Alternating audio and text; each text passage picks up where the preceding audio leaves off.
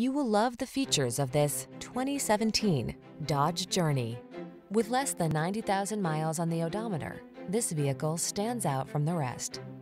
Now is the perfect time to start a fresh new chapter in your traveling life. Take a closer look at this vehicle.